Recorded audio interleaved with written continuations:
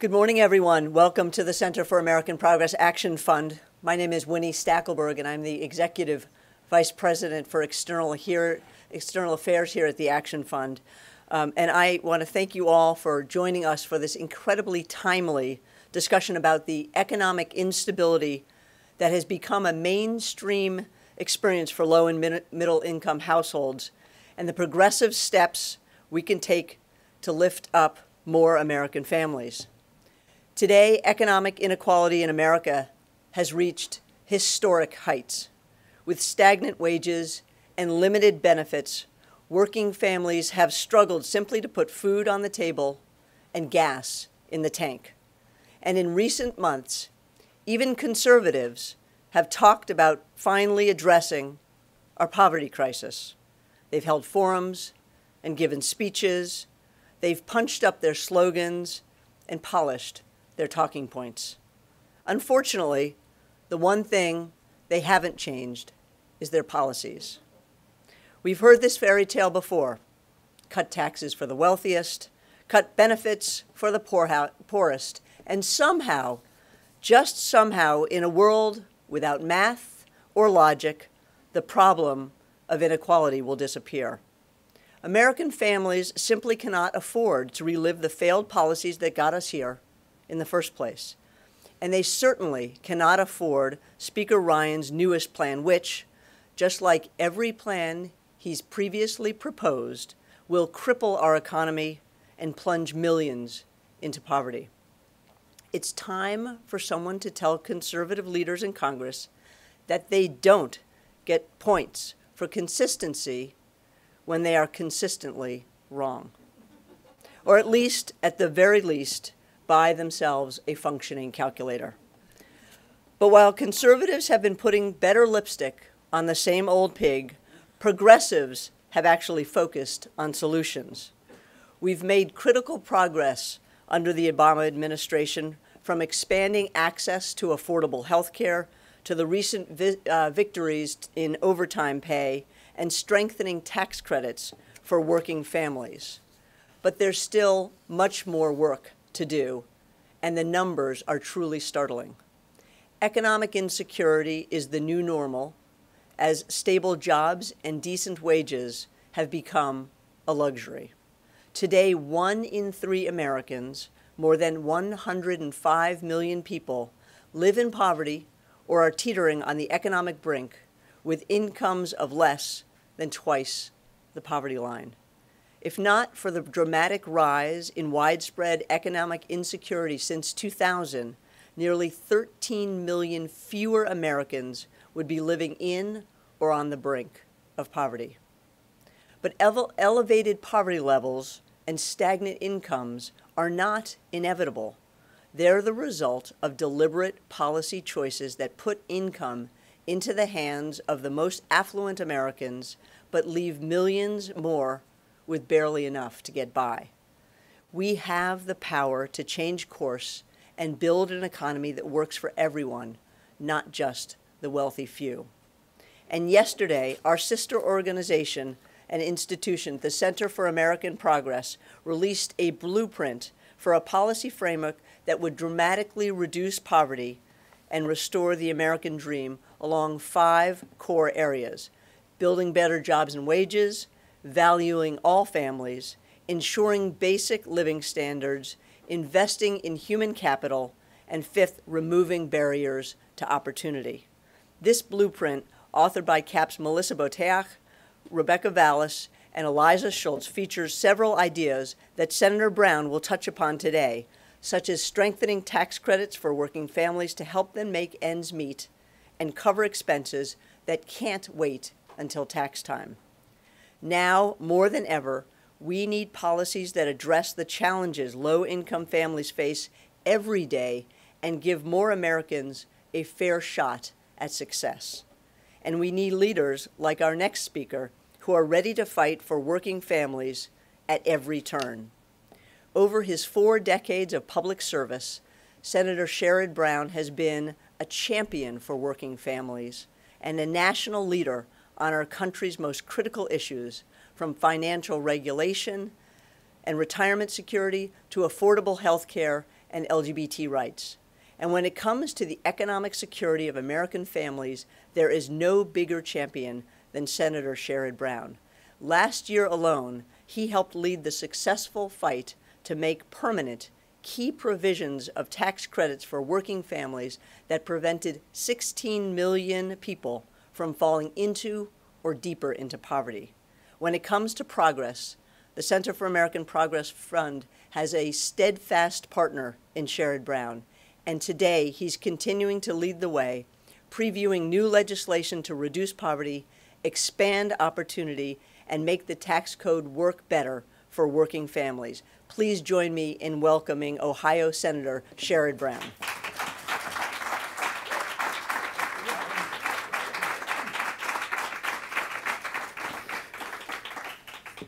Winnie, thank you. It's always great to be at Center for American Progress. Thanks you for the work you do here. Uh, Melissa, thank you, and Jessica, thanks for the words that you are about to share with us too. It's um, it's great to be back. Thank you for your activism and idealism of darn near everybody in this crowd, and I know the work you do. Uh, I remember the early days of, of uh, Center for American Progress when uh, the, the we had someone in the White House that we did not consider an ally, and how you really helped all of us fight back and get to a very different place for our country. So, um, thank you all for that so much. Um, about um, four decades ago, as a very young man, I made my first trip to Israel.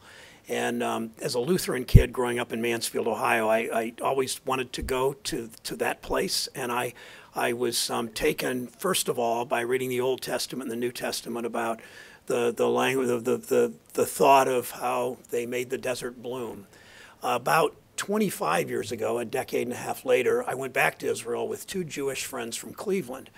And um, they knew enough about me and my faith and my views about justice that um, they we journeyed to uh, the top of a hill overlooking the Sea of Galilee. Uh, where it was believed that Jesus delivered the Sermon on the Mount. And uh, we were talking, these two Jewish friends, with a Canadian Israeli guide. Um, the four of us were standing there, and, and one of them turned to me with a Bible, a New Testament, with the um, open to Matthew 5 and they said, "Please read this to us." Um, and it was um, it was Matthew five thirteen. It was the Beatitudes, and I, I have always thought that, and they I think they kind of knew that. I've always thought that that was the greatest sermon ever delivered, and the greatest political speech um, ever given. And it, it, it informs the work that I've done in my political career. I hope it also informs the way I live my life. I, maybe you never know that.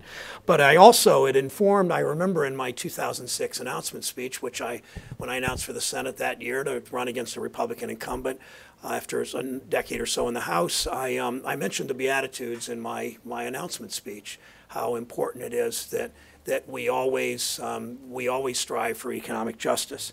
It's why I came to the Senate, and last year um, we got something really big done. Uh, as, as Winnie said, um, that that uh, I think fits what what the Beatitudes were all about. I, I would add that um, the department, she mentioned the Department of Labor's overtime rule, which was another huge victory, showing the importance of a Democratic president with a Democratic Department of Labor with an aggressive anti-poverty, pro-jobs, pro-growth, pro-wage agenda, and that is so very, very important. But let me tell you, the purpose of the speech really today is to, I think, set a model. I mean, you can. This is one story. We can tell certainly the story of the DOL rule and how important that was, and there was engagement on a lot of us in the Senate, and engagement of outside groups, and engagement of CAP to make these things happen. But let me take on a more narrow, in a more narrow way how we got from from having no chance with the earned income tax credit to make it permanent to success. And it's, I think it's a model that, the CAP, help, at which CAP helped us arrive. It's a model that a lot of you in this room are engaged in. Uh, Gideon in my office was sort of the mastermind of it in, in making it happen in the Senate. And let me just tell you about it. And you, you know the issues. Productivity has gone up over the past four decades profit, corporate profits have gone up, yet wages have barely budged. And the middle class has shrunk literally in every single state in the country. And the middle class shrinks. It's not they're growing not very many in the middle class are getting richer. It's obviously the middle class shrinking means people are dropping out the bottom. When workers' wage stagn- when workers' wages stagnate, they struggle to provide for their families. We have a moral problem. When people who work hard and take responsibility in their, for their families and their lives, when they believe the system is rigged, the economy is rigged, we have a political problem. When the next generation of workers has fewer prospects for upward mobility, we have an economic problem. That's why programs like the Earned Income Tax Credit and the Child Tax Credit, which we insist travel together through the legislative process and in this discussion, why they are so important. These are credits that reward work. They lift millions of Americans out of poverty. More than 27 million American households claim the EITC, received an average of $2,400. Real money for real families in real neighborhoods. These dollars don't get put in a Swiss bank account. These dollars are spent in that community by workers meeting their daily needs and spent to help businesses generate economic growth in our communities. EITC was signed into law in 1975. It was created to make sure we have a tax system that provides incentives to work, especially for low and middle income people. That's what it's done. EITC has lifted more children above the poverty line than any other government program.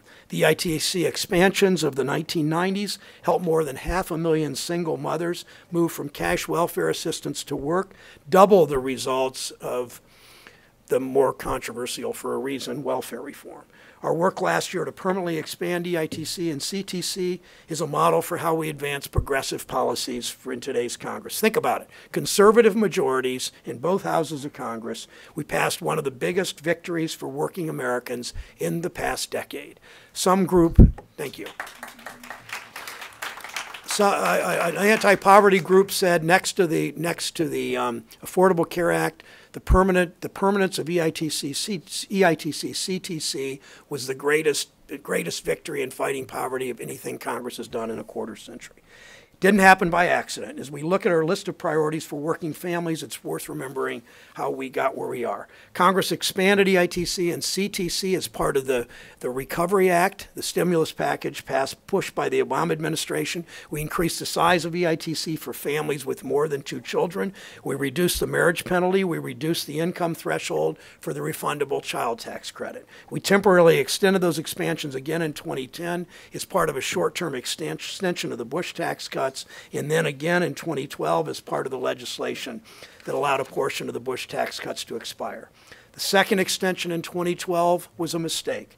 We allowed a permanent extension of a reduced estate tax for some of the wealthiest Americans in exchange for only a five year extension of tax credits for working families. Think about this 2001, Bush tax cut. 2003, Bush tax cuts. 2004, repatriation, bringing money back home for little benefit, except for the stockholders in those companies. 2010, Bush tax cuts. 2012, fiscal cliff deal what they had in common, they were great for corporate America. What they also had in common, they did little for low income people. It's a mistake working families can't afford to see us do again. 2013, I joined the Senate Finance Committee. My first tax bill as a member of the committee was the Working Families Tax Relief Act. It's why I wanted to be on. I wanted to be on this committee for a whole lot of reasons: trade issues, Medicaid expansion, uh, low-income tax credits. The list goes on. But my first bill, as I said, was the Working Families Tax Relief Act, which would make EITC and CTC expansions permanent. It would index CTC to inflation. It would expand the EITC to more workers. The first step getting it passed was to get the Democratic caucus in, engaged in making it a top priority. It wasn't evident or obvious that that could happen. People like the poverty team at CAP and the grassroots activists played a critical role in this effort. Strategy worked. More than two thirds of Senate Democrats signed on as co sponsors. Next, we needed to figure out how to get Republicans to yes. House Republicans had passed a series of standalone tax provisions benefiting, shockingly, corporate corporate America. Things like the R some of them I agree with actually, but things like the R&D tax credit provisions to benefit multinational companies, those would be permanent. And that was our opening. In the fall of 2014, I publicly uh, proposed a compromise on tax extenders. We would make some business tax provisions permanent, but only, only under the condition that EITC and CTC permit were permanent. We laid down a marker: no tax breaks for out, for corporations, without tax breaks for working families. Uh, you know how good conservatives are at, at, at naming things, the death tax, things like that. Well, our little mantra was no tax breaks for corporations without tax breaks for working families. No tax breaks for corporations. I said it a hundred times. I knew we were approaching victory when I saw senior Democrats in the Democratic caucus stand up one day in about July saying, you know, we can't do tax breaks for corporations without tax breaks for working families. And I screamed, hallelujah. Um, when some in Congress tried to strike a deal that didn't include EITC and CTC, we refused to bend, and the bill failed. So when we laid down the same marker in 2015, House Republicans knew we were serious. I reintroduced the Working Families Tax Relief Act, this time with more Democratic sponsors. We then had 44 out of 46 if you count the Democrats and the two independents. Republicans stepped up their attacks claiming, oh, how they love talking about about tax fraud for low income people, uh, and rarely talking about it for others. Republicans stepped up their attacks, claiming that EITC was rampant with fraud. No evidence of that. Um, they played with some numbers, they played with some definitions, but no evidence of that. Senate Democrats significantly held together. Corporate lobbyists made the rounds on the Hill, like always, but this time we converted them into allies because they were hearing from Democrats our mantra no tax breaks for corporations without tax breaks for working families. Corporate lobbyists recognized the only way they could get what they wanted, which in the end they always do. So we didn't give them a lot because in the end they always get what they want. They recognized the only way they could get what they wanted, permanent tax provisions for a number of, of some good, some a little less good, corporate provisions was to get what we wanted, permanent EITC and CTC. So they began lobbying Republicans to find a way to get to yes. Finally, after a November hearing, and I will I won't mention names, but a particular Republican came out of the committee hearing after we talked about combat after we combated the misinformation about EITC fraud, which really is improper payments brought on sometimes by IRS mistakes, other times by tax preparers' mistakes, but rarely, rarely, rarely fraud. I was I was followed out of the finance community by a Republican senator who clearly wanted to do business and clearly was beginning to move on what this tax for this EITC fraud meant. Over the next few weeks, our negotiations with Republicans picked up. A deal was in sight. We organized, we worked with grassroots organizations to remind Democrats how much was at stake for working families, that there was a single mother of two children working full-time on minimum wage, barely getting by on 14000 a year, and of course she should get a significant tax credit, a refundable tax credit that would make her life better and make her community stronger. She was counting on us to secure her $1,725 child tax credit to make ends meet. Democrats remained united, and because House Republicans knew from experience this time we would not back down, they had no other choice but to join us. We made the expansion a permanent part of the tax code, bringing certainty to the budgets of millions of families who rely on these credits every January or February or March or April to, to raise their children and save for retirement. That's the good news, but we have more work to do. Under current law, workers without children, and, and Winnie touched on this, workers without children making minimum wage barely receive any EITC, and childless workers under the age of 25 qualify for zero. That makes young people and workers without children the only groups that literally, think about this, literally can be taxed deeper into poverty. In current law, you make 15000 a year, you're making, say you're making $10 an hour, you're making a little bit, say 15 a year or, you know, minimum wage or $10 an hour, 20,000 a year. If you have no children, those workers barely receive earn, earn any income tax credit, as I said. But if they're under 25, they get zero. That means a young worker can actually be taxed into poverty. They're working, they pay payroll tax, they pay state and local sales taxes, and they are they're wherever they are in their, their minimal income, their low income place, they are taxed into poverty. Those taxes can push them below the poverty line, the, the, the most important reason to expand the EITC. The final budget of his presidency, President Obama has proposed expanding the EITC by reducing the eligibility age from 25 to 21 and doubling the maximum value of the credit. Step in the right direction, but it doesn't go far enough. We need to both expand the size of the EITC for all workers without children, and we need to expand access for young workers. We should combine the tax credit with an increase in the minimum wage to $15 an hour to make sure a hard day's work is rewarded with an honest day's pay. How are young work understand the minimum wage today has one third less buying power than it did when I started in politics? How are young workers going to plan families or plan for their futures if they're already struggling paycheck to paycheck? More than half of Americans, I think you've, you're, all of you here at CAP know these kinds of numbers and these kinds of hardships, but more than half Americans um, are so cash strapped they wouldn't be able to come up with $400 without selling something they own or borrowing money. And where do they go to borrow money? They go to they go to a payday lender. What if instead a cash-strapped low-income worker could get an advance in the EITC she's already earned? Think about this: a woman's uh, making eleven dollars an hour. She's raising a child. She's a single parent or not. Um, she her car breaks down um, in October. She's already earned her in, she's already earned nine twelfths through September, nine twelfths of her earned income tax credit, but she can't get it till February or March when she files. How about giving her a $500 advance? Not not a not a loan.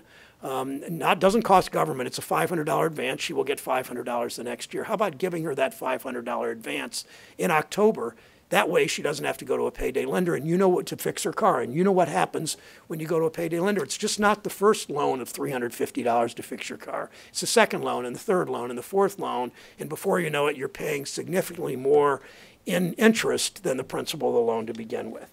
Um, that's the kind of innovative thinking, the kind of thing we need to do with earned income tax credit to serve those low income workers um, better than it already does through the refundable tax credit. You know, we say we value hard work in this country. If we mean what we say, it's time to get behind common sense ideas to make hard work pay. Simply expanding the childless EITC alone will lift more than half a million out of poverty and reduce poverty for an additional 10 million. Expanding the EITC means more Americans working. It means that work will pay off. It means more Americans getting GEDs and getting to go to community college and beyond. It means more Americans saving for the future and working to build a better life for their children. The idea that we should be, I mean, the idea that we should be rewarding work is a bipartisan one. It's why every president, starting with Gerald Ford in 1975, uh, expanded the, uh, created or expanded the EITC. It's why we're able to cut through gridlock and make the EITC expansion permanent last winter. It's why I'm optimistic about other things that CAP recommends and that we've worked on together um, to fight poverty in this country. We must make supporting working families a precondition to our cooperation. Uh, this, this town undoubtedly sings with an upper class accent. This town, or speaks with an upper class accent, or whatever we do in this town. And it's important, it's important that we remind people. Lincoln used to say that um, when his, his, his staff wanted him to stay in the White House and win the war and free the slaves and preserve the Union. And Lincoln said, no, I have to go out and get my public opinion baths. In a more modern day, um, Pope Francis exhorted his parish priests to go out and smell like the flock. It's so important in this town that those of us with titles and those of us that dress like this listen to people who struggle every day just to put food on the table, just to support their kids, that have to make terrible choices about medicine and school and paying their rent. Um, all of those things we need to consider. We, my, my wife and I live in Cleveland, Ohio, in zip code 44105. We're expecting some visitors next month in Cleveland. That would not be my personal visitors, but about 10,000 of them. But the zip code we live in had more foreclosures in 2007 than any zip code in the United States of America. Think about the personal side of that, what it means, what all of these issues of poverty mean, and it's so important that we address it. We address these. We did it last winter with EITC. If we follow this model with EITC, with overtime rule, with things that we know how to do and stick together as progressives, uh, we can change this world and we can make this country a better place to live. Thank you so much.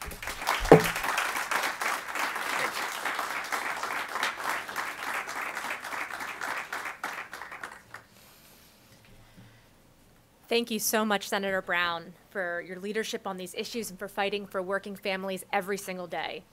The policies that were outlined by Senator Brown would have a real and tangible impact on improving the lives of struggling families across the country and paving a path to the middle class. In contrast, just a few miles from here, just this morning, congressional Republicans are releasing a poverty plan that does nothing to create jobs or raise wages, but rather would exacerbate poverty and inequality by undermining many of the core investments that have been so successful in preventing hardship and boosting economic mobility. This plan cannot be viewed separately from their budget, which just weeks ago proposed getting three-fifths from the, of its cuts from programs helping low and moderate income families while protecting tax breaks for millionaires and corporations. The progressive blueprint that Center for American Progress is discussing today stands in sharp contrast. In it, we propose strategies to create good jobs, to raise wages, to invest in families, and to strengthen basic living standards. Recent research has underscored the important effects that policies such as raising the minimum wage, ensuring paid family and sick leave, and fair scheduling practices can have on improving family economic security. But it is thanks to the courage of workers across the country that these issues are now on the national agenda in a way that makes it impossible for policymakers to ignore them. These workers have organized in cities and in states across the country, drawing on their lived experience to advocate for fair wages and a better life for them and their families. No event discussing an anti poverty agenda would be complete without their voice. I'm therefore honored to be able to introduce our next distinguished speaker, someone who has direct and lived experience with many of the issues we are talking about today. Jessica Howard Winter Martin is a DC resident, born in New York and most recently living in the Bay Area, where she graduated from UC Berkeley. She has spent 10 years working in the restaurant industry. Despite working full time, despite graduating from college, Jessica knows what it's like to struggle financially, to work three jobs at once and still need to turn to nutrition assistance and food banks to have to make impossible decisions about whether or not to be there for your family, or missing a day's pay because you don't have paid sick leave. But she's not standing by. She's a vocal advocate for the rights of working families, and in particular for tipped workers, as an active member of the board of the Restaurant Opportunity Center, better known as ROC. I'm pleased to welcome her today to share her story and to speak to the kinds of policies that would enable her to reach the middle class.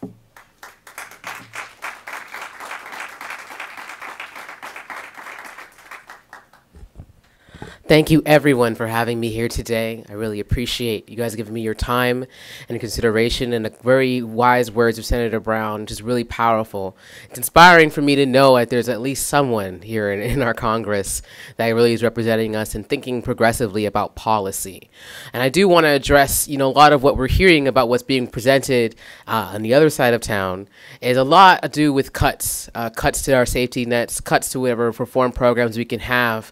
And I'm a bit confused here on some on what's kind of going on. Are we trying to eliminate poverty? Or are we trying to eliminate people living in poverty? And I think we need to really address this concern and this issue. What causes people to live in this situation? So let me speak a bit about my personal experience here. Uh, my mother was a server. My father was a chef. They met together in New York in the same restaurant. So I always say I was born and raised, really conceived in this in the industry, in the restaurant industry all of my life, I've either been in a restaurant, been around a restaurant. With my first little kitchen when I was five years old, washing dishes and prepping prepping food. First job when I was 15 years old as a busser, work as a host, food runner, server, but every position in a restaurant you could think. And I could talk a lot about what goes on in there, but I'll just stick to the things that relate to, to labor and wages. Um, I've lived in very different states, uh, as was mentioned. Actually, most of my experiences in California and city of San Francisco, which had at the time the nation's highest wages, and what a huge difference that made on the industry, on the people, on on our food, on the service, on our lives. Of course, as we all know, the cost of living in San Francisco is tremendously high. So, despite those incredibly high wages, that meant just about nothing for anyone actually living, in San Francisco. But for for someone like me who lived on the other side of the bay with much lower cost of living, but working there, it may it meant that I could work, you know, at times just one job, pay my bills, and move on. It was nice. It was comforting. Of course, when I moved, finished college, moved out on my own, so I had to start paying rent, things got a little bit different. And that's where I started to experience having to work two, three jobs. Sometimes, actually, when I moved here to DC, I left four jobs over there. And I, there was definitely at times a bit of a struggle. The hardest part, really, of this is when I came here to DC, though. The biggest difference being in the restaurant industry, working, living in DC or in San Francisco, is the three key words. It's just one fair wage. That is what we had in California. We have on the West Coast. Seven states have one fair wage. What does that mean? That means everyone is paid one fair minimum wage. See, here in DC, my wage as a server is $2.77 an hour.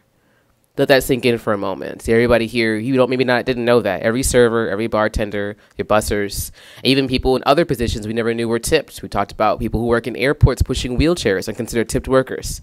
They're making sometimes as little as five dollars an hour or less because people thought they're supposed to be tipped. But think about that for a moment. I know a lot of us in here love to, to go to happy hour get a nice little drink, a little one dollar Yuengling, three dollar cocktails. And so next time you go to happy hour and your bartender hands you that three dollar cocktail, realize that you're paying more for that cocktail than their employer is paying them for an entire hour to be there. Constantly churning out drinks, passing out foods, little two dollar bites, one dollar beers. That's all they're getting paid by their employer to work. And that's really the struggle I've, I've, dealt with in my personal experience. I like to work. I like to do work that's right. I like to help people. I like to be active, enjoy my life, and live comfortably. I'm, I'm not saying I want to sit on the couch and do nothing all day. I w- I don't mind going to work. I'm happy with that. If that's what I need to do to be a responsible adult, I'm okay with that. But what needs to happen here and what we need to consider with policy is that we need to be able to work full time and pay our bills and not just barely pay our bills but pay all of them on time every month. Every bill should be topped off. Our gas tank should be full. Our Metro card should be should be refilled. We should be able to update our wardrobes every now and then. You know, just every now and then, even at the secondhand store. We should be able to go visit family. And that's something I've experienced as well. Despite one fair wage being in California, there weren't protections as far as paid family leave and sick leave. So when my aunt, who lives here on the East Coast, we were on the West Coast at the time, when my aunt suddenly passed uh, we had to make a really tough decision. Despite both of us working for the exact same employer, for my mother had been there for almost five years at the time, I had been there for two years at the time, neither of us were going to get any paid family leave or sick leave. In fact, it was because we were friends with the general manager that we got the benefit of being able to take up to a week off and still have our job when we came back. That was considered a privilege. And we had to decide for ourselves and really sit and question who could afford to take time off, who was who needed to be there did I and we had to decide and had to make a tough choice that I wasn't be able to say goodbye to my aunt. My mother, we had to schedule her every every bit of my aunt's funeral and, and death preparation around the fact that my mother only had seven days, including flying time, to go from California to, to, to Baltimore to view the body, to sign away power of attorney, to do to do the cremation and orchestrate a service. It was very stressful, and just to make things better, when we came back, we had missed an entire week of our highest income earners' wages in the house and had nothing to fall back on because my wages simply weren't enough. It was tough, it was rough, and I never got to say goodbye. The same thing when my grandma passed, equally as suddenly. And again, when my, my, my father's side, we're Jamaicans, so we took her back to home, to Jamaica, where she was from. Never got a chance to say goodbye. Never got a chance to even go out to New York and just help view the body and just be a part. Never got a chance to support my father and my uncles and aunts who were definitely struggling with the sudden loss of their mother. The best I could do was call, send a text message, because that's all I could afford. It was harsh. It's, it's rough and it's tough when you're working full time, working for the same employer for years, and you're just barely getting by, and you can't even just say goodbye because there's no protections for working people. And I think that's really what we need to bring to this narrative here, as everyone discusses what's going what's going on as far as dealing with our workers and dealing with poverty. People don't understand that people are working in poverty. Right downstairs, at Cosi, at Pret a Manger, at little establishments we all walk through here to get our bagels and get our coffee. These people are working full time and are not making ends meet. I know we've all heard a lot of stats, but I'm just going to throw one or two more just to give you a concept of what's going on here. We're discussing a lot of a $15 an hour minimum wage, $15 an hour minimum wage increase. In fact, there's a ballot initiative here in the district, and there's legislation that's actually being voted on as we speak by the city council as we speak, the city council is deciding and voting on a $15 an hour minimum wage increase. If you do the math, working 40 hours a week, that's $31,000 a year before taxes. Now, an average wage of a one the rate of a one bedroom apartment here in DC is twenty one hundred dollars. So do that math and ask yourself: Is that really a living working wage? Can you work full time and, and take care of yourself and pay your bills on just fifteen dollar an hour minimum wage? And yet, when I go out and I canvass to get this on the ballot, I often hear they don't deserve fifteen dollars. Fifteen dollars is too much. Starbucks workers don't need that. But it's not about whether or not you think that filling up lattes, pouring cocktails and beers is a difficult enough job to earn $15 an hour. What we need to change the narrative is to what is the cost of living? What does it cost to survive? What do we really need? And everyone here in this room and all of our legislators need to think to ourselves, what are the creature comforts? If I took away all the, the superfluous things and cut myself down to the basics, what do I need and what does that cost? And what are we now being paid? And is that equal? We're not saying that we deserve to go have, it was mentioned before by Senator Brown, Swiss bank accounts and offshore. And we're not saying we want to go skiing every now and then or take five or six vacations a year. We're talking, I'm talking about being able to bury my aunt and my grandmother. That's what I'm talking about. I'm talking about being able to take time off work. If you want to know something in the restaurant industry, we never take time off when we're sick, just so you know. We, we come in there, I've come in unfortunately sick to my gills and I just bring the ingredients with me to make a cup of tea in the back and try not to get yelled at too much for drinking tea on the job because I would be coughing a contagious illness into your food. But I cannot afford to take the day off work. They will not give me that time. I will lose my job if I keep requesting time off. This is what we're dealing with here. We're talking about people who deserve the right to, to pay their bills, to support themselves since I've moved here to the district, I have worked full time, sometimes 50 hours a week, and taken my paycheck right to the Human Services Administration, have them look at it and say, oh, yeah, you can definitely get some food stamps. Worry not. Do you want TANF? Do you want and have them look at my paycheck and say, yes, here are all the benefits you can get despite having 50 hours per week on your paycheck. No time to look for another job. No time to do anything else but go to work and yes, you can apply for benefits. I've had to pull out my paycheck and pull out my phone and pull out a calculator and pull up the law about wage theft and about the minimum wage, the tip minimum wage, and argue with my employer about why I'm not being paid accurately and why I deserve to just get the minimum wage at 1050. And it's such a such a struggle because the system as it is is broken. You don't want to. People don't want to pay their workers. Employers don't want to pay their workers for the job that they're doing. But this is what we need to make happen.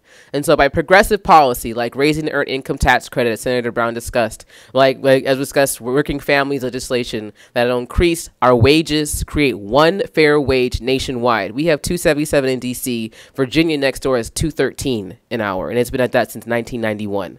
What ha- at all has been the same price since 1991? Not and not a single thing even if you adjust for inflation.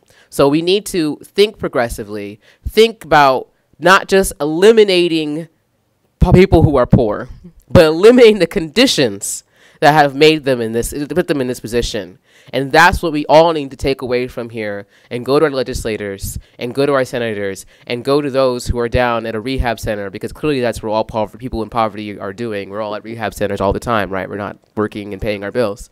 Um, and let them know that if you do, if you actually raise our wages and take care of us, give us what we need, we won't need food stamps. We don't want stamps. We don't want welfare. We don't want these things. We want to work. Make it so that we can work and we can make that work. Thank you.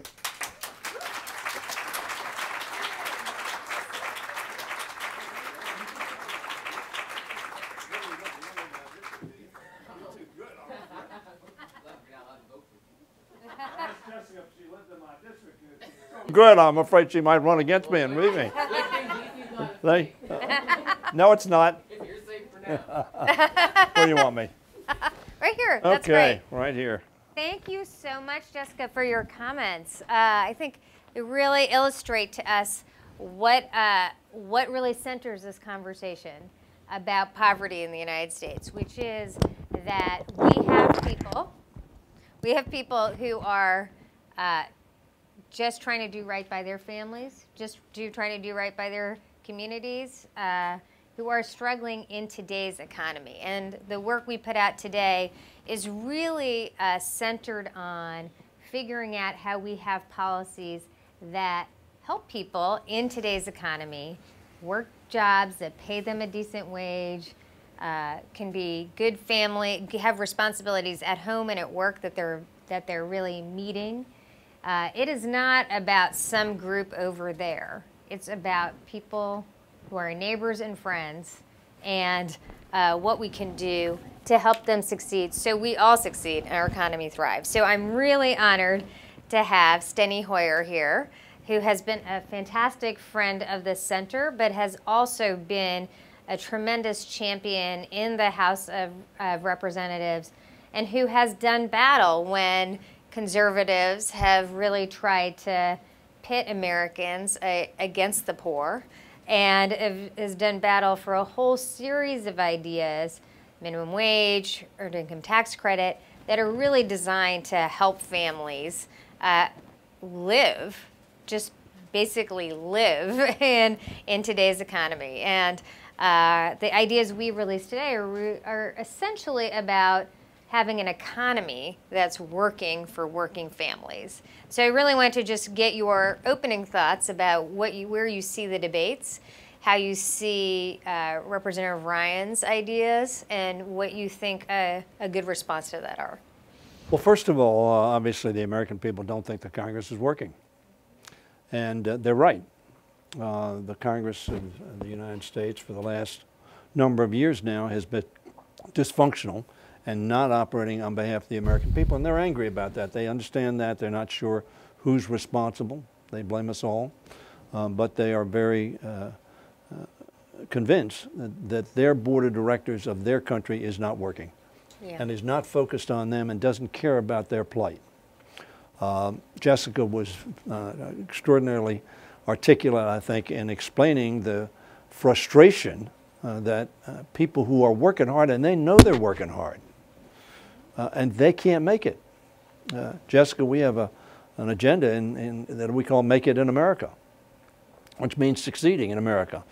It also means manufacturing goods, which I've talked about here. But uh, you mention it, and, and, here we are at a time when Paul Ryan has now put a much ballyhooed uh, agenda on the table. Now, I haven't seen the agenda, but we know uh, essentially uh, what it's done. And frankly, uh, it's a new spin on a bad deal. Uh, it's not anything new. Uh, it will be, as Republicans have suggested in the past, block grants uh, for programs that are designed to make sure, uh, and, and I understand, Jessica, what you're saying about people don't want food stamps, but we don't want people to go hungry either. So if they're not making enough, we want to make sure that they, they and their children have sustenance uh, so that uh, when we block grant programs, almost inevitably, block grant means reducing. Yeah. And while the rhetoric, uh, I'm sure that uh, will be in this document, sounds good, uh, sounds aspirational and visionary, uh, the reality uh, behind it will be an, an, empty promise of trying to bring people out of poverty, which is why I appointed Barbara Lee. I'm, I'm sorry she can't be here today uh, to a task force that we have under the WHIP operation uh, on, uh, on poverty, inequality, and opportunity. Uh, because if we're going to expand the middle class, which is absolutely essential, rather than shrinking the middle class, we need to bring people who are poor into the middle class, who have a living wage. And there's so many things we can do, and you mentioned the minimum wage, EITC, education, investment in, in, uh, uh, in infrastructure to create jobs. There's so many things that we need to be doing that we are not doing uh, in uh, the Congress of the United States. And there is a central premise that, uh, in my view, maintains among the majority party.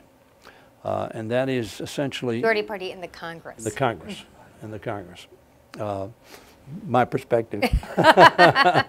thank, Just explain. Thank heavens we have the presidency, or things would be a lot worse, in my view. Uh, but essentially the basic premise is you're on your own. This is not our role as a government. I mean, philosophically. Now, there are a lot of folks in the Congress of the United States just don't believe that's our role. Um, whether it's minimum wage, whether it's child care, whether it's equal pay, whether it's uh, uh, voting rights, uh, uh you can go through a list of 20 issues. Basic premise underlying the approach of the majority party in the House of Representatives and the United States Senate, in my opinion, is you're on your own. That's not our role. And as a result, we have a lot of people frustrated, a lot of people angry, and a lot of people hurting in America, uh, which in the richest country on the face of the earth should not be the case. So I think um, uh, I think that one of the things that really people kind of scratch their head at in, in the country right now is it used to be a kind of uh, bipartisan idea uh, that you know the best way to address poverty is to have good jobs that pay people um, a decent wage and at least have you know jobs as an answer to poverty. And but now we we're living in a world where you have folks who are saying they want to be about opportunity but oppose a minimum wage increase. You know, and uh, we can go through all the statistics. I'm sure people have heard them all before, probably heard them today about how the minimum wage is really uh, much less than what it would be if it was You know, keeping I up with heard uh. Sherrod Brown as we were coming in, he said it was the third less. Actually, uh, it's 48% less than it was in 1968. It ought to be 1070 today if all you did was escalate it by uh, inflation from 1968. It would be $10.70. So when you mention $15, uh, that gets close to a living wage. Uh, it may not be at a living wage, as Jessica pointed out. I mean, rent alone in a, in, a, in a city. I don't know how the workers who work in New York City or San Francisco or Washington, D.C. Uh, live here.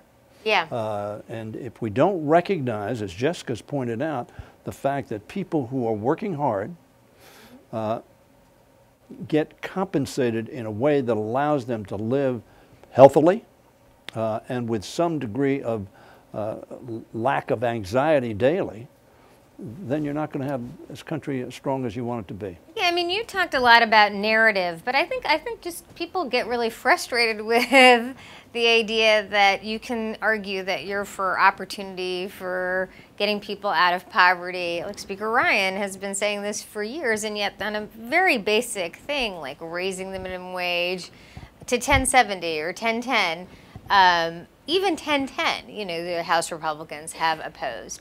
So what do how can you know I think that's also just in some ways people scratch their head and think the whole system is a joke when something so basic as that you know we talked about this earlier people are really angry because we can't even do basic things like get a minimum wage increase. What do you say to progressives who you know think minimum wage increase is common sense? Oh, Oh, there was a- oh man.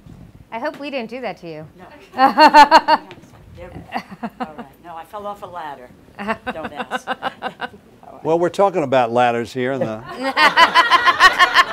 and what we're talking about is lack of rungs on that ladder. Right, right. There are a lot of rungs at the top Well of the ladder, Well but there aren't a lot of rungs in the bottom of the ladder. Yeah. That's And that's really what we're talking about. Absolutely. Uh, and until we focus on those bottom rungs so people can get up those rungs, Yeah. We're going to have accidents. I just, I'll just say a word of, uh, I mean, it's almost, I don't need to introduce Rosa DeLauro, uh, but uh, she has been a, again, a true champion fighting, fighting uh, Speaker Ryan's agenda and so many Republicans' agenda these days. Um, so we were just talking about the, the Can I say something on that? And this is going to sound harsh. Speaker Ryan has rhetoric. yes, There will not be an agenda. I predict to you there will be no bills on the floor of the House of Representatives in the next three or four months that will implement the suggestions in whatever document he puts forward. Uh, the fact of the matter is, Ryan has rhetoric. It is good rhetoric. He, he sells it well. But Ryan's budgets were budgets of retreat, budgets of disinvestment. Uh, and all you have to do is look at his budgets. His budget's disinvested in education, in people, in infrastructure, in job creation. And uh, no less a soul than uh, Hal Rogers, who's the chairman of the Appropriations Committee, referred to sequester as ill-advised and unworkable. Yeah. Uh, and that's the policies we've been pursuing. And it's harmful to the country, and it angers people, and they're correct to be angered. And they, frankly, in this next election, uh, need to uh, vote for those who are prepared to invest in job creation and in them and their families. Rosa DeLauro, I'm glad Rosa DeLauro is here. She and I served on the Labor, Health, and Human Services uh, Appropriations Subcommittee together for a very long period Long of time, time. She is now the ranking member, and Rosa, welcome. I'm sorry about your name. Thank you. Yeah. Well, listen, that's where we moved from one place to another, and you know, foolishly decided I should go up and down the ladder to uh, put stuff where it needed to go, and then fell off. I like the story that you were like doing battle with Republicans. Hey, and, listen, uh, sounds good to me. I, I, I would just, and I, you know, I, I, let me just say for one se- session, because uh, uh, one second, because Ryan has introduced his um, uh, his so-called uh, effort on on poverty, which in, in in effect would increase poverty in the United States.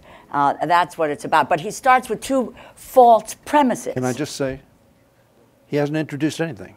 He's Well- put something on the table that's going to sound I got good. it. I got it. But right. But the, the fact of the matter is, the document, in and of itself, starts from two false premises. That in fact nothing has happened with regard to poverty Yeah. since the war on poverty. Not true. Simply not true. It is a distortion, and he tries to fool people with this.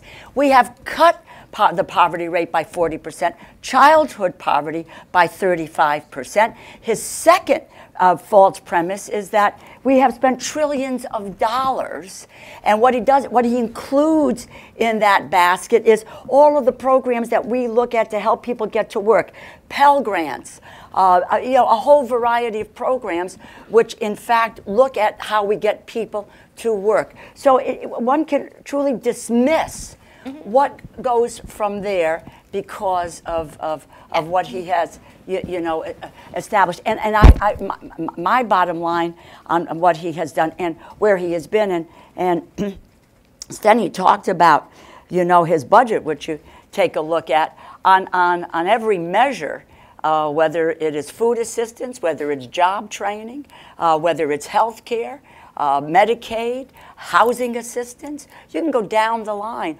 All of those uh, uh, efforts have been cut back. So it's not a serious uh, document, and quite frankly, one that ought to be dismissed, except to say very pointedly that the direction that they would go in is to increase poverty in the United States, and we've got to call them out on it. Absolutely. I think, yes?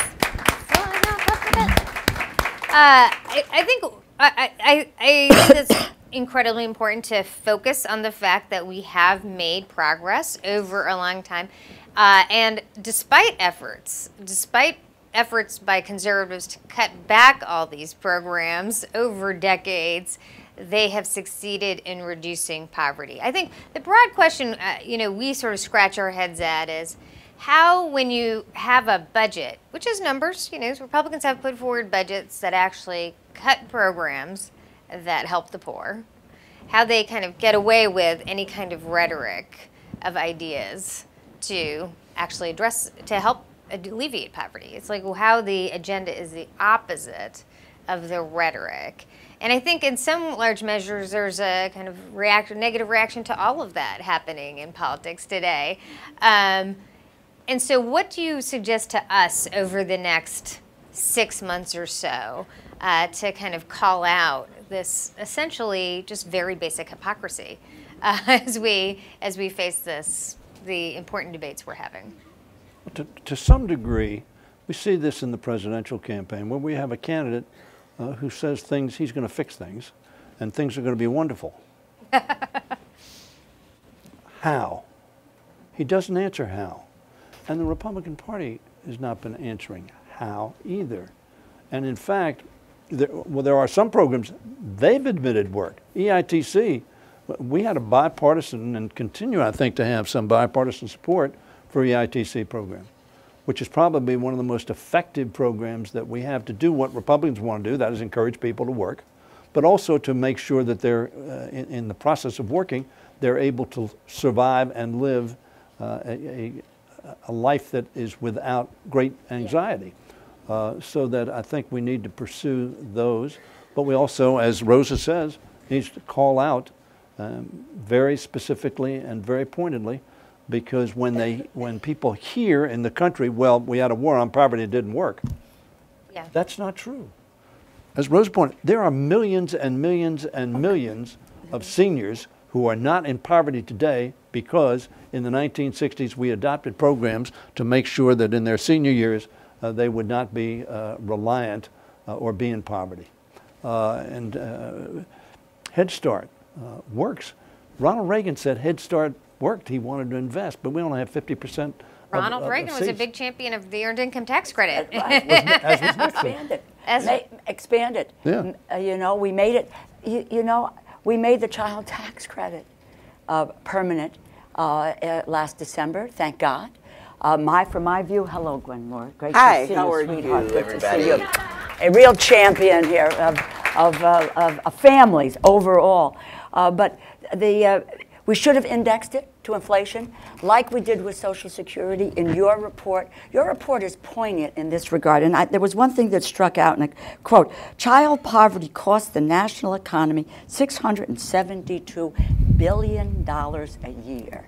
We are foolish if we are not looking at the ways in which we can uh, look at what we have done, build on what we have done. Child tax credit ought to be uh, indexed to inflation. We ought to move in the direction of the young child tax credit, where we've had the opportunity to do an op ed together, Yes. uh, Neera, and the $1,500 tax credit to kids that are three years old and younger, uh, younger because by age, those children, the youngest children, are those who are most in poverty in this nation. Quite frankly, I'm going to speak as a, de- a Democrat.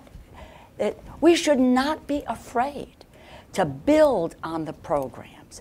You take your, your, your page 18 of your report lists the ways in which people have been lifted out of poverty.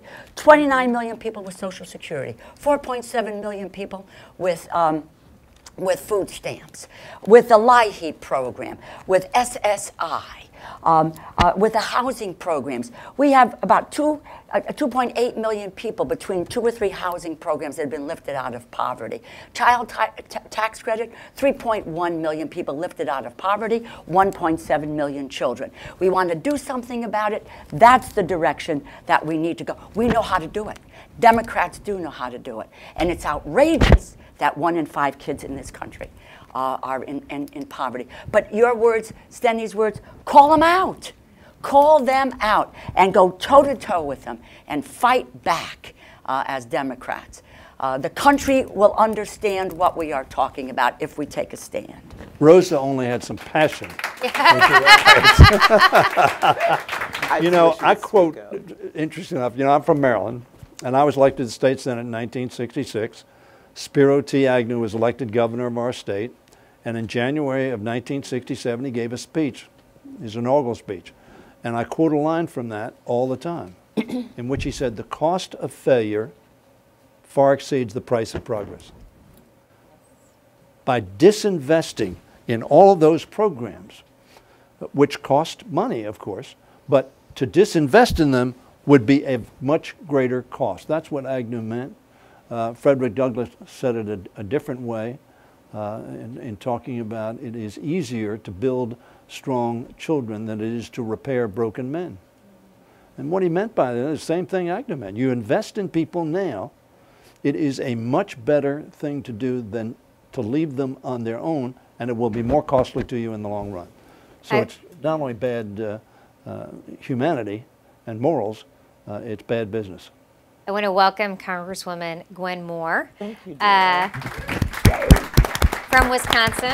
Has been active on civil rights issues and a whole host of issues. First African American representative from Wisconsin. We're honored to have you here. And I think uh, just to just to uh, update, I think uh, Congresswoman DeLauro and Congressman uh, Hoyer have really focused on the one-two punch of the of what we're facing on the other side. One is to say that everything we've done hasn't worked Right. right? And the second step is to then, you know, cut programs that have worked. The first is the justification for the second. And I think, you know, we've seen over the last several years a kind of libertarian perspective which has said the government can't do anything right, so we should pull it back, and that's the best way to address poverty ironic as that is. So I think the the points that have been made that these programs really have worked, and I want to give a shout out to the CAP poverty team over here who have really done tremendous work. Melissa and Rebecca, all members of the team who've done tremendous work to to provide the analytics that we actually have made progress on reducing poverty. These programs have been successful, so that's why we need to actually invest more in them. But even aside from government investment, there's things we could do like raising the minimum wage, uh, which isn't a government Childcare. investment. Childcare, been supporting businesses to do childcare. So I'd love to get your perspective on really what are the top issues you think we could we should tackle to address these issues, and then how we can uh, make clear the, where the Republicans are in these debates. Well, you know, uh, as, as I was inching my way here And the this traffic morning, is terrible. Um, That's a government service we do need to improve. yeah, um, uh, the staff that was with me, who have my notes with them, but I think I can make it. You didn't bring my phone, like I told you to. As I was inching my way here, you know, one of the comments that my staff made, and, and it's very, very true. At one point, you think you're going to educate lawmakers about poverty. You're going to roll out the center's research and, and, and proof that these programs have worked. You're going to rattle off all these data that uh, Representative DeLauro, and you're somehow going to convince the Paul Ryans of the world that uh, you're going to enlighten them uh, as to the needs of, of poverty and, and explain why half of all Americans at some point in their lives uh, fall into poverty. Um, and, and, and, and, Rosa, you know, I, I, I wasn't able to catch up with the whole conversation, but you said something I think is an extremely important lead in to what I'm going to say. You said we got to take it right to them. We have got to really question uh, their, uh, you know, uh, their characterization of poor people is broken people, people who need to be fixed. Yeah. People, Paul Ryan, as we speak, is rolling out his poverty initiative at a drug rehab center. Now, God knows we need drug rehab. I'm all for drug rehab. But what is the narrative there? Sure. The narrative is is that why didn't he go to McDonald's or to a fast food restaurant and, and, and, and interview someone who was at their second job That's trying right. to make it? Exactly, Why, exactly. why didn't he go to one of these shuttered factories uh, to sort of explain why people who had worked and had some incentive to work in the past uh, hadn't worked? Why, why didn't he go uh, to a daycare center? You know, and talk to the daycare provider to who expl- they explain the attrition of people. You know, as soon as they make nine dollars an hour, suddenly they're no longer eligible for daycare, Yeah. and they're leaving their six-year-old kids at home. I know people like this, leaving their six-year-old kids at home, telling them to make a sandwich and don't open the door Right.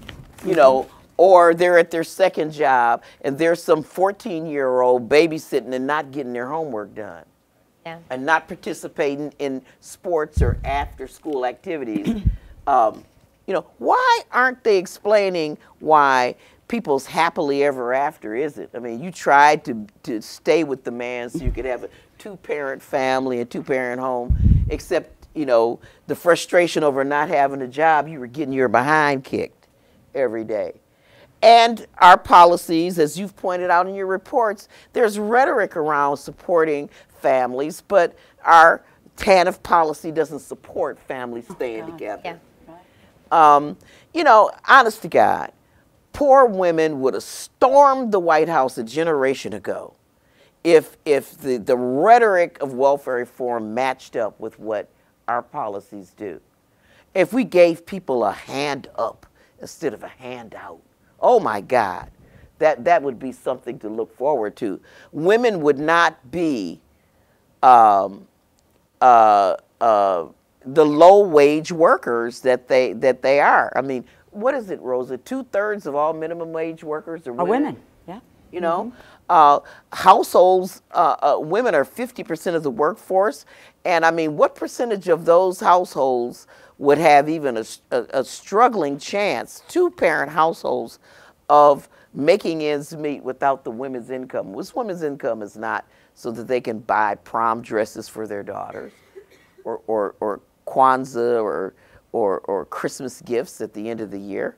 Um, and so I think that, that, you know, I once, and I'm going to shut up, I, I once wrote an editorial. I was telling my staff, I've looked all over for it. The paper claims they can't find it.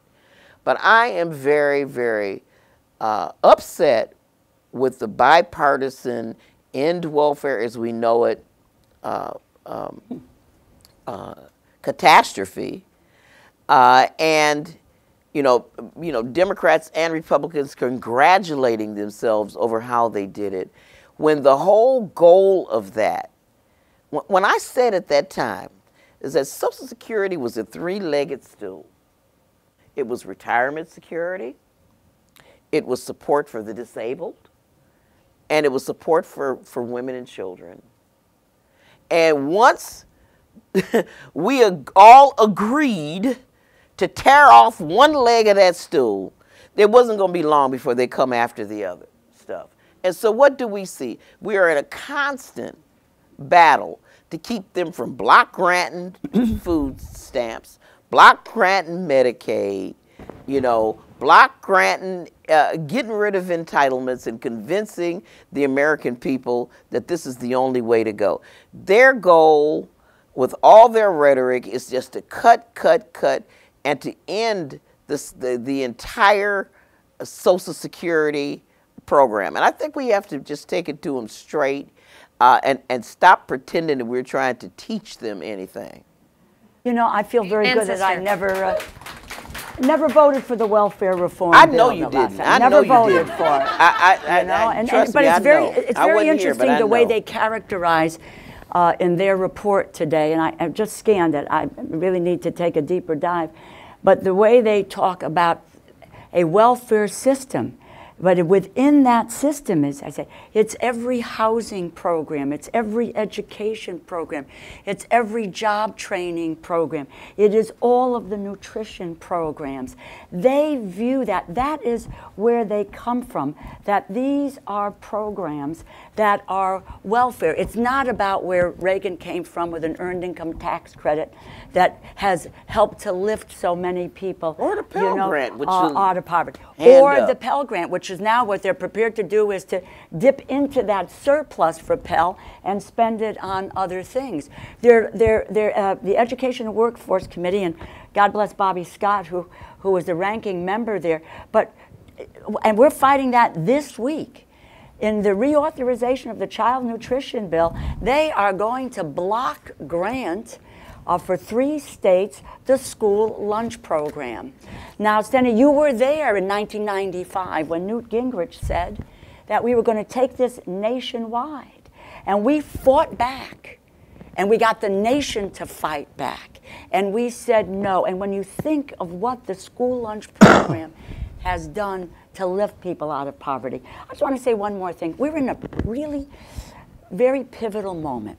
Think about the issue of minimum wage and the $15 uh, uh, um, uh, i- increase and what's happened nationwide with that.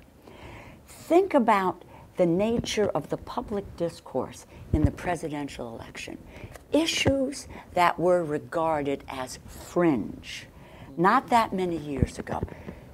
Paid sick days, paid family leave, equal pay for equal work, affordable child care.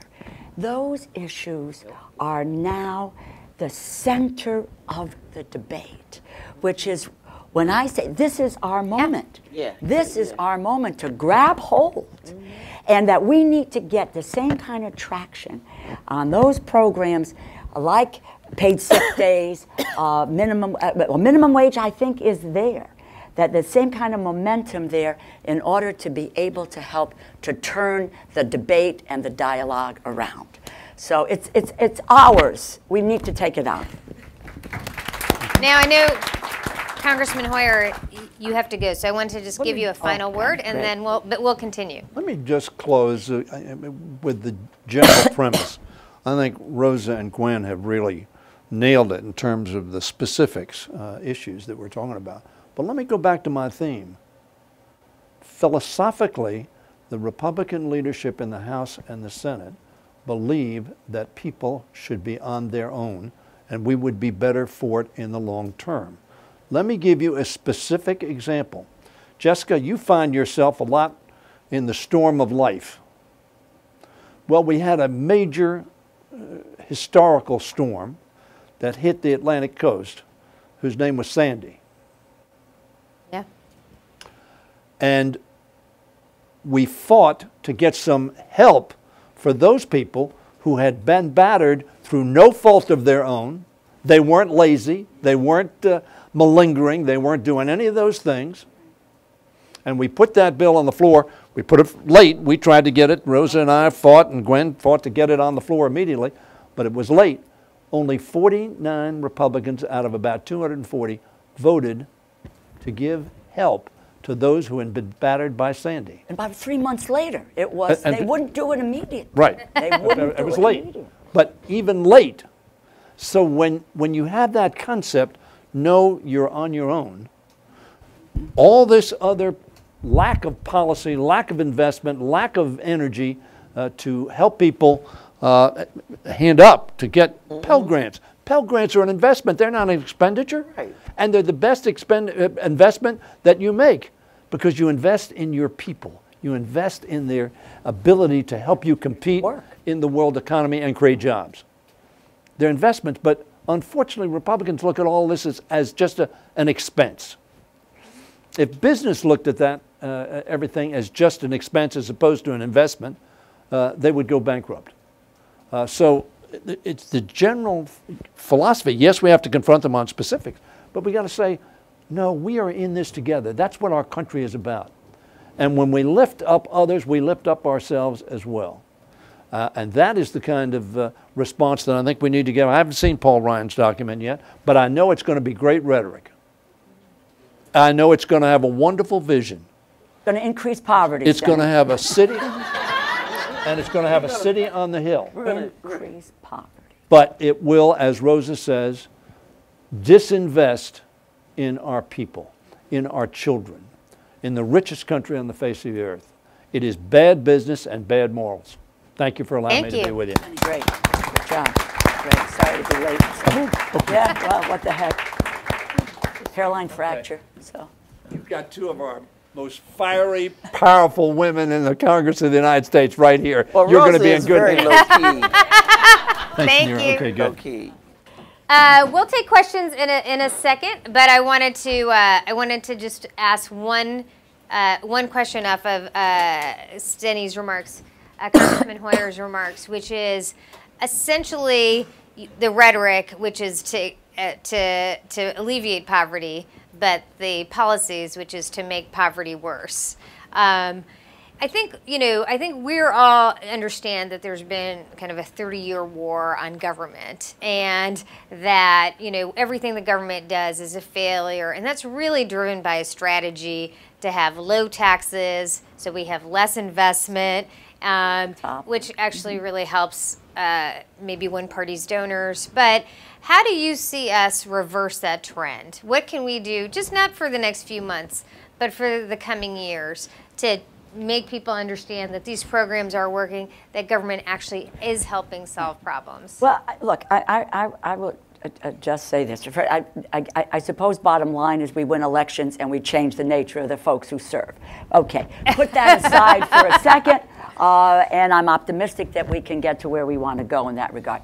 But I, I would just say this to you, which I think that this is something that um, Senator Sanders has uh, opened the gate on, and that is the way that government doles out benefits to corporations and to special interests. Fundamentally, that's what this country believes. You cannot get people's attention unless you address the issue of reforming the system, that we should do something about the special interests, that they're getting all of the benefits, and that there is a corruption there that we need to fix. And quite frankly, he opened that door. And what we have seen then is that you can move in and then talk about if you were able to deal with the, these special interests and curtail them and not provide them with all of the benefits, that in fact you could bring some sense of relief to their lives. They're, try- they're struggling. Their wages have been stagnant. They know that. Uh, and, uh, and, and we've got a whole group of folks who will tell them that it's because of globalization or technology that their income is stagnant. Wrong. It's the deliberate policy choices that we have made over the years that have created this problem. But they do not believe us because they don't think that we're on the level either side with looking at that. And I believe it is the gateway issue to opening up the door for us to talk about a whole variety of issues that we're talking about today. That we can do these things for uh, working men and women. We can do these things to lift people out of poverty. That's great. Thank you, Congressman Moore. amen to everything that Rosa has said.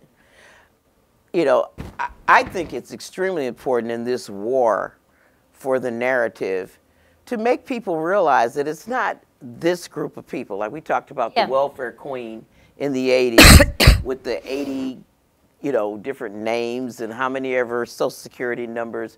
And so it was very easy to adopt this we and they attitude toward people. When people realize that half of all Americans will at some point be, be, be poor, you lost your job, you developed cancer, y- you know, you got three kids in school at one time, your, your husband ran off with his secretary.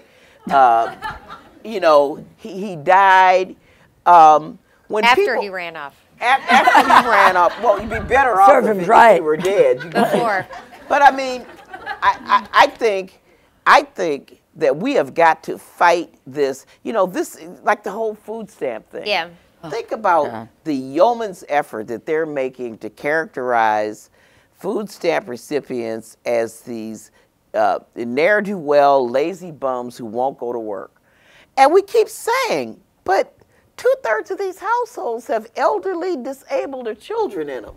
Am I wrong about these data? I'm with the data people. Yeah, you're And, right. and, and, You're and as many times as we say that, it's not, we've got to make people, we have got to bring this full circle and Yeah. say, you know, we have, and, and Bernie Sanders can help us with these kinds of messages, you know, we have a healthcare system, for example, that rewards you if you're working.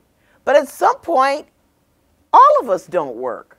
I mean, we're infants, we're 80, we're sick, we're just plain, we're in school, we're just plain old unemployed or between jobs. And so preparing a medical safety net for everybody mm-hmm. is in all of our interests. You know, it doesn't matter if you live, you know, in Central Park and you've got the best health care uh, available to you. If everybody in Harlem is going to develop Zika, you're in trouble. if, if you don't invest Yeah. in, in, in, in everybody's health, you know, you can't isolate yourself. No, those a great point.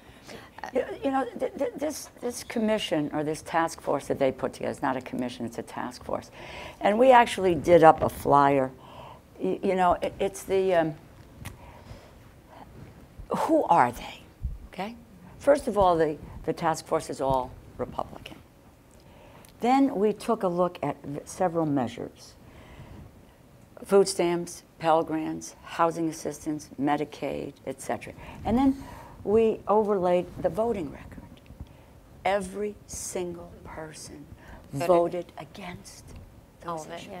So, as I say, what we, what we and, and we need to describe where they're going Yeah. very deliberately, graphically, be unafraid to talk about the Ryan plan, the Republican plan, the Trump plan, whatever it is, and that it is about increasing poverty. I was at with Secretary Clinton in New Haven, Connecticut, and a round table, and a young woman spoke. She, has, she was in the nursing field, had a great job, single mom, taking care of her daughter. They had a home in a lovely section of the city of New Haven.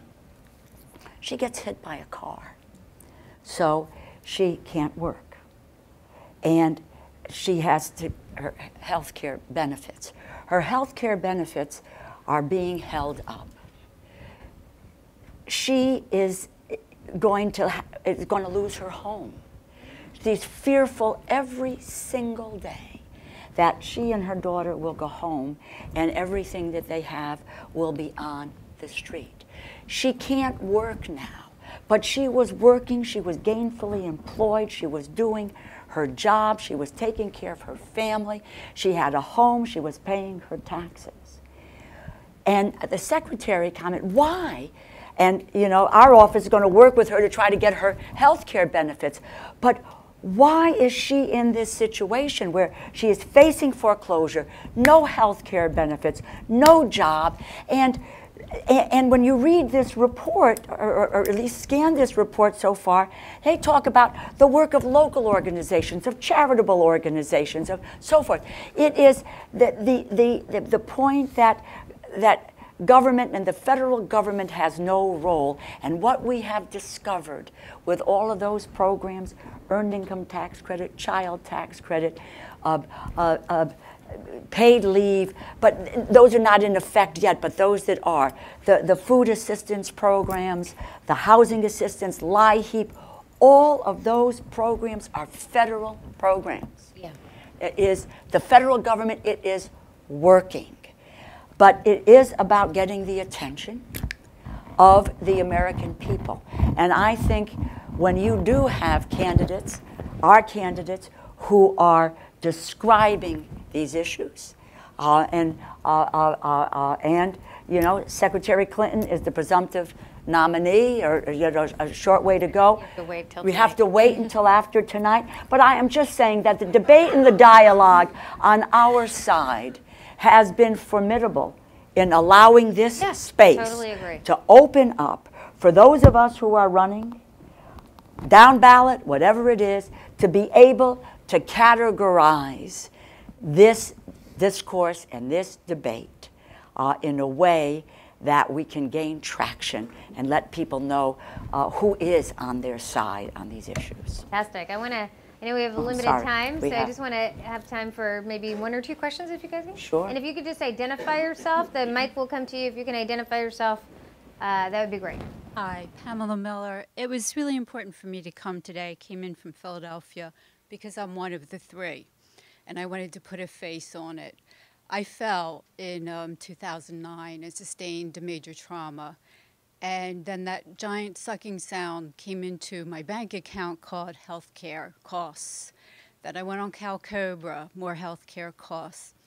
It was more important my recovery. In 2011, I returned to school back at Temple University in Philadelphia.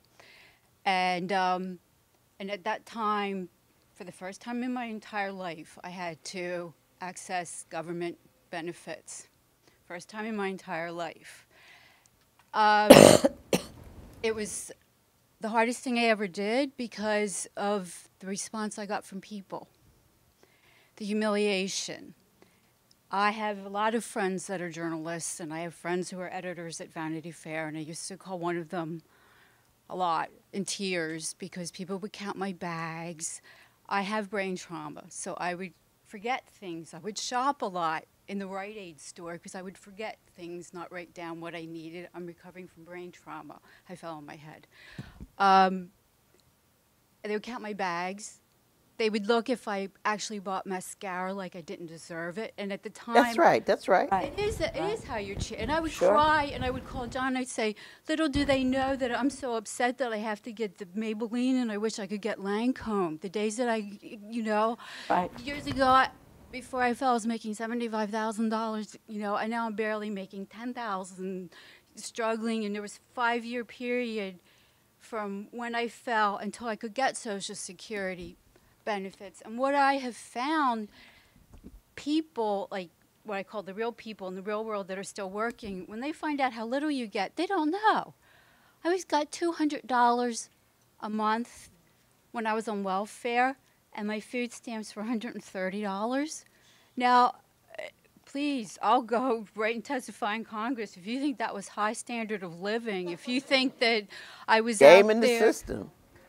Yeah, uh, that I Not was on the doing thrifty anything. program, it's the lowest level of the With food that, stamp I program. actually did buy my textbooks. I wasn't doing much else, and I took out a lot of. I got a lot of loans. It Was paying for for the college part. That part was until I got a, a scholarship, um, and then when I was on scholarship, I had to fight every semester, as everyone does, for disability to get my accommodations because it's so hard still, even though there's a federal law, it's still so hard. You'll get a professor every semester that'll say to you, Well, I don't really want to deal with disability, do it my way. So you're doing that every single semester. Then you'll get a call right around midterms. You find out they're cutting off your mm-hmm. food stamps. You have to go up there and deal with that. I saw hundreds and hundreds of people lining up. People are hurting because of the recession. Yeah. Philadelphia has a very high poverty rates. A lot of the inner cities do, but again, people are not. Um, I just came. The Acquired Brain Injury Network of Pennsylvania wanted to let people know that 33,000 people in Pennsylvania got cut from getting um, food stamps on June 1st. So you're talking about things you're going. trying to help, and but I don't hear anything about you know stemming what's going on now. Um, very few people are getting actual TANF benefits. You have to be Yeah. you have to have point. a kid. Uh, Pennsylvania cut everybody disa- all disabled people are off the rolls in Pennsylvania. You can die in the street and be disabled. You can't get anything. And that's how a lot of the Yeah. states are. So I don't I don't want to go on and on. I'm just saying that, No, this is we really do have a huge problem in this country. But a lot of it also brought me back women uh, uh, really brought me back to being, I already was a feminist, but a really hardcore feminist because so much of this is economic. Women have got to wake up that $15 an hour, that two thirds of women are making just minimum wage, that we're not getting paid what we should get, we're not getting the benefits, we're the most vulnerable. Um, I did my own Emily's List. I have a thank you note from Senator Brown. I worked on Wendy Davis's campaign, Terry McAuliffe's campaign. I'll be at a party tonight for Hillary Clinton. um, and Senator Cory Booker invited me to a swearing in. I gave money to every Democrat running for the Senate last year. It was the hardest night of my life, that election. I hope this fall we get the Senate back and Great. the presidency. We will. Thank you. Thank you so much. Thank you. Thanks for sharing your story. Yeah. I think, uh, yeah, yeah, let, uh, let other people. Yeah, Okay. Let other people, yeah. yeah, we have some We've reporters. some other questions, and then we can. Max Aaron, Max Aaron from Washington Post. Um, I am very interested in what Congresswoman Moore said a moment ago about two-parent families and two-parent households, and I'm just wondering if uh, any of you folks would be interested in saying a little bit more about that. Do you think that two-parent families are better off? Do you think that uh, the government has a role to play in promoting marriage and two-parent families? And if so, uh, what should that role be? Well, you know, duh. It takes two to tango, and it takes two people to get a baby. Um, uh, it does, and there are all kind of ways that people get babies. Let me tell you this: I'm from Milwaukee, Wisconsin, and for like 30 years straight, Milwaukee was in the top 10 in the nation for uh, teenage pregnancies. Uh, and so we had to ask ourselves, I mean, are these the most immoral little divas? Or, uh, I mean, what is it? Is it something about the water? Why are all these girls getting pregnant in Milwaukee? You know, and you know, when you look at the model that the Republicans have, it's because you have a flawed character. That's the first go-to assumption. And and United Way of Greater Milwaukee did a study, and they found that these girls are being raped that that that, that these children that the offspring were products of like statutory. I mean, grown men in their 20s and 30s uh, uh, having sex with with girls under the age of 16. You know, and of course, all of the uh, recriminations in order to the women Yeah. uh, uh, uh, and, and not to the men. You know, we have job training programs. They're out looking for men to train um, uh, and indicting women um, um, for it. Uh, but, but the point I really wanted to make, and I was inspired by what you had to say, and, and even what, what you're asking about two parent families. Um, the, the policy doesn't fit. There, there is no effort uh, if there's a you know there's no effort to keep people from hitting these high marginal uh, rates to make sure that a two family a, a two parent family can actually stay together and still receive benefits that they deserve. But uh, uh beyond that the old afdc program the admin costs were held at like 10% of the program. Right now uh, you know, the district from which I hail, I mean, we used TANF money for bonuses, and, uh, uh, to pay salaries to for-profit agencies where they could earn more money than the governor earned. Um, I have jurisdictions in my congressional district where they fixed the infrastructure so a private uh, enterprise can get in there and build yeah. on the ground with TANF dollars so that while we're busy indicting poor people, uh, the states that have received the TANF dollars and eh, with this so-called flexibility have used the flexibility. There's really been no incentive whatsoever to really actually help people so that people who would be, could be eligible uh, for the program, they're diverted from help because there is a perverse incentive for the state to keep the money, to yeah. balance the budget, to yeah. do whatever they want to with it. I, I just like What's, to just jump quickly into this. Right. I just want to say something about Congressman Ryan's policies as well. You know, I, would say, speaking on behalf of CAP, we completely recognize that for kids growing up in poverty, it's great to have two parents involved in their lives. I, you know, great it's something that, it's great for everyone. I would just make really two points about that. One, uh, the data really shows that a lot of the pressures on families are economic pressures, and that marriage is something that's become really a function of inequality in the country. But the irony I see is that we have a Republican Party, or conservatives, I should say, arguing for family values at the heart of everything we do when we have policies for poor people that actually incentivize the breakup of families. Just the most basic issue is that in most of the country, for TANF, you know, our welfare program, it punishes you if you're married if conservatives actually believed in family structure and supporting parents, they would today end that policy, and I'm sure progressives would join them. But they don't. So I think as we go through these next few months, we should all recognize this is hollow rhetoric to ensure that it's someone else's problem, not a policy infrastructure that they're responsible for. And that's how we recognize that this is really just an excuse. Look, I, just very quickly, we want strong families, we want healthy families. Marriage is not a silver bullet to ending poverty. Uh, and you have all manners of family. Lots of married people are poor. Are, and, right, but different kinds of family structures as well. In addition to which, the nature, uh, watch what is happening in the country. If you take a look at the, uh, at, at, at, at the trends, you're looking at a majority of, of, of, of folks who are unmarried. Uh, and you're looking at women, women who are unmarried, that's single, widowed, divorced, or separated. They are one of the largest demographic groups today. Uh, pardon? So that you one has got to deal with what is going on uh, and so as i say it's not a silver bullet is as as Neera pointed out do we want structure? Do we want, yes. Uh, and, and, and there are, pl- and the necessity to help families different than what we view as two parents, two kids, and, and probably still that the mother stays home and isn't working. That's where our, our, our, sometimes our policy goes these days. Our public policy initiatives have not kept up with what is going on in, in, in, in, uh, in, in families today. Is that what we have to do is to make our public policy so mirror the way people are actually living today.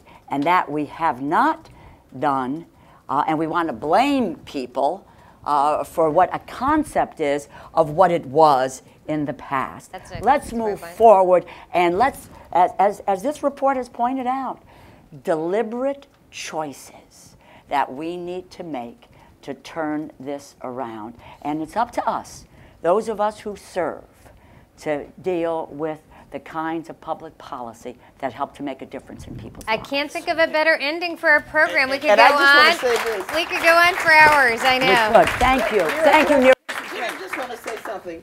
You know, if we're going to fix this, we got to come to the table, and certain normative assumptions can't be hmm. there. It, you know, I just want to repeat what I said when I first opened my mouth. If we come to the table, if they want to come to the table, talk about people who are poor being broken, that's just a non-starter. We can't even start to talk about how to fix this. You know, if your notion is that you're going to stand up at a drug treatment program and start talking about how to help the poor. And what they want Yeah, to do great is to point. cut off those benefits, of food stamp benefits, Yeah. to someone who they want to drug test. Right. That's exactly. a reality. Right. I listen to this every single day in the Ag Committee. Thank you. Thank you. Thank I- you, it's so, it's always so great Thank to be you. with such passive leaders. And you're certainly not a